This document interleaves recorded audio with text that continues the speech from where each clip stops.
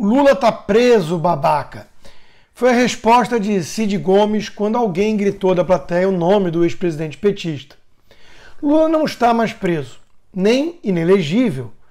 Tudo graças aos companheiros supremos que vêm rasgando a Constituição, da qual deveriam ser os guardiões.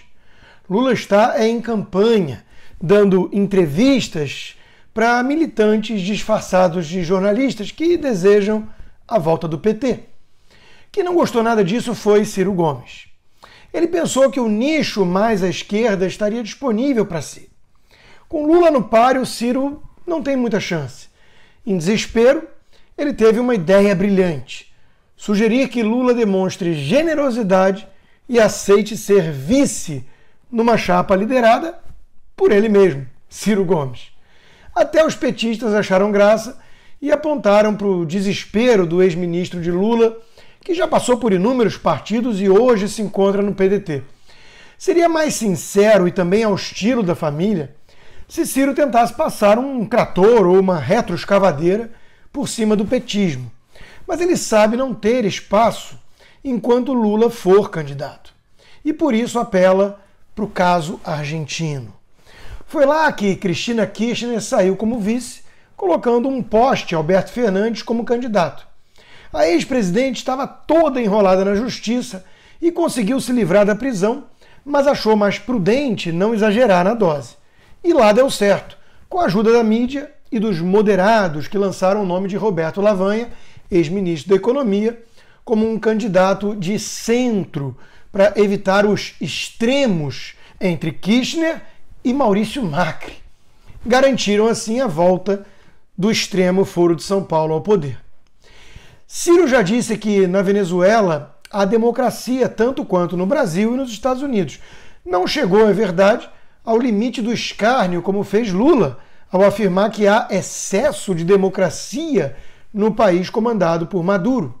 Mas isso mostra bem o compromisso, entre aspas, de Ciro Gomes com os valores democráticos. Por isso que ele aponta para a Argentina como um exemplo de sucesso a ser seguido pelo Brasil. A Argentina, que teve o pior resultado econômico nessa pandemia, além de óbitos por habitantes acima do Brasil. A Argentina, que caminha em direção acelerada rumo ao modelo venezuelano. O que Ciro está dizendo, em essência, é que o PT deveria flertar com o purgatório, já que seria é inviável chegar ao paraíso logo de uma vez agora. O paraíso sendo, claro, a Venezuela, do ponto de vista da extrema esquerda. Ciro acha que o petismo carrega um legado pesado, manchas sujas no currículo, e que faria mais sentido estratégico usarem um preposto, um poste, como fez Kirchner. E ele se coloca como candidato a esse poste. Para tanto, conta com a generosidade de um corrupto safado do Foro de São Paulo. Ciro sabe que Lula não é generoso e tampouco conta mesmo com qualquer tipo de generosidade de alguém que usou a morte da própria mulher para se safar. A sua fala é calculada, é pérfida e fala para oportunistas. Ele pretende que Lula seja convencido de que esse seja o melhor caminho para resgatar o poder. Mas claro que Lula não vai aceitar algo assim. E portanto, a fala de Ciro Gomes serve só para mais uma humilhação em praça pública, de quem sempre se sujeitou a ser uma espécie de capacho de Lula, ainda que alguém da família, de vez em quando, demonstre uma irritação maior com a lembrança desse fato.